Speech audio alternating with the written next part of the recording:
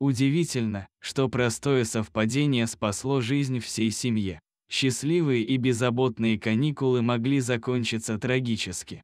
Фотографирование и запись видео в этом случае оказались большим предупреждением о надвигающейся опасности. Дэн Уотсон и его семья отправились в отпуск на побережье Флориды. Родители отдыхали на пляже, а дети купались в воде под присмотром.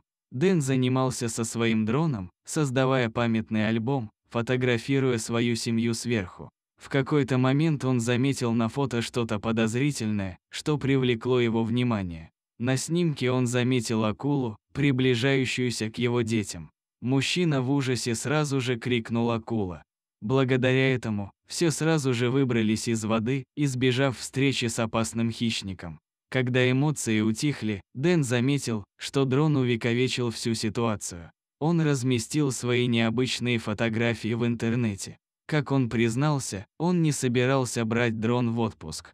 Он обычно использует его только в профессиональных целях, потому что он занимает очень много времени. Однако, незадолго до отъезда он почувствовал необходимость взять устройство с собой. К счастью, он решил сделать несколько фотографий на пляже со своей семьей. Если бы не это, отпуск мог бы закончиться трагически.